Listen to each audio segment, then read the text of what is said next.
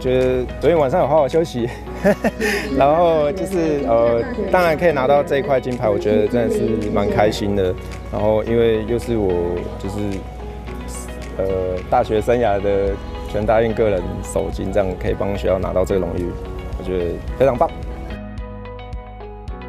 非常有机会，这样第一次要去站上挑战奥运。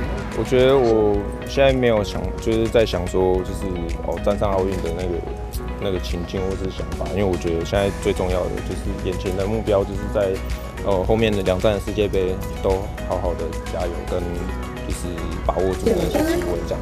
当然，他们其实就是比我比我更早的起来嘛，然后他们的经验也相当的，就一对我来说啊，已经相当丰富这样子。那我也是要向他们好好的学习这样子，对啊。经验看起来比较多吧，然后但其实体型是最弱的那个，他们都是我大哥啦。像就是像魏学长跟我讲一样，或是老师跟我们提醒的都是一样的，就是不管是对到谁，我们就是会好好的去跟对方培养默契。然后其实我们都蛮合得来的，对，所以就是每天就是要照顾两位大哥，这是我该做的本分这样子。都怎么照顾他们？很好，要不要装水啊？要不要泡泡面啊？都交给我来做。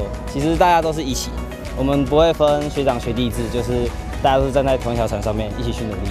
我觉得这场比赛是一个很好的挑战，因为从上海回来比赛其实蛮辛苦的，那体力上可能也会有一点没力，跟要需要时间调整。那老师就是给我们一个目标，就是好好的去做动作，然后去挑战自己的极限。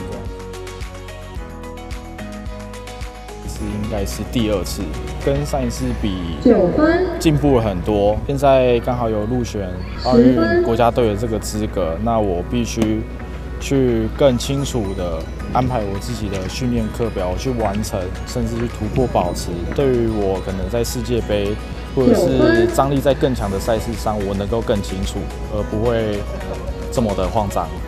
其实我觉得上海站是世界赛的第一站，我觉得就是去重新熟悉世界杯的感觉，继续去了解说恢复到世界杯等级的一个张力。